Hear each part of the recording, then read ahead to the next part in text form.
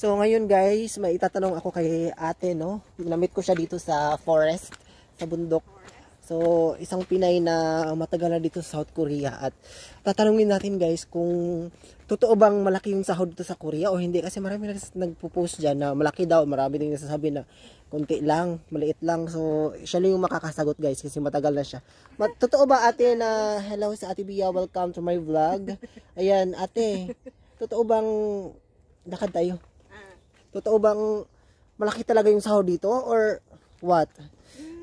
Ano bang masasabi mo? Depende po. Depende po sa mapupuntahan yung company. Mm, depende Kasi pala sa company. sa company na puntahan ko is basic lang talaga. Ang Basic daw. basic salary ang aming So, ano ba yung basic basic salary ngayon sa South Korea? Magkano ba? Magkano ba yung exact? Oo. Basic. Hindi ko... Yung masabi? Mm-mm. Parang nasa, feeling ko, 85 or, 80, 80 plus. ah, eh, so yun, 85. Ganon. Oh, t- Kung isipin mo, malaki siya compare sa Pinas. Pinas. Pero may minus pa ba yon ate or hindi? Ma or fix ano na yon? Yun na yung net deductions? deductions pa yun, mga sa health insurance. Oo, marami yung sa uh, national pension. Ganon. Parang mga SSS at pag-ibig rin, no? Mga PhilHealth.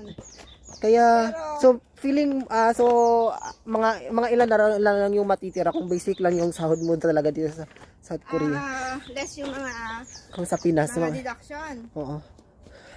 Mga, Cut mo muna. so, Siguro mga 70 gano'n. 70,000.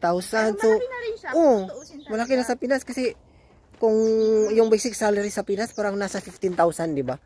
Pero malaki na lang may tutulong mo, di ba? 70,000, o okay na, di ba? Wala kang overtime. Basic lang yung sahod mo. Pag less na yung mga deduction. Oo. Pero Oh, so yun, guys. So, kung paano mo i-manage. Mar paano mo i-budget? O, money management lang talaga yan. So, natanong mo ba yung sagot nyo? Siya sa Ate Bea, guys. Ayan, meet Ate Bea almost Pero sa ilang mga, yung advice ko sa mga ano naman. bagong aspirants. Oo. Kahit na malaki yung sahod mo, kung hindi ka marunong maghawak. Oh, hindi ka ng marunong mag-budget, wala talaga. Nga nga. Mag-budget is Nga nga ka talaga. Kaya, kahit basic na yung salary mo, basta magaling kang maghawak ng pera, hindi ka waldas, ayun makakaipon. Nga, upa, tingnan mo. Napaka-fresh naman niya. So yun guys, so I hope na na nasagot yung mga tanong nyo.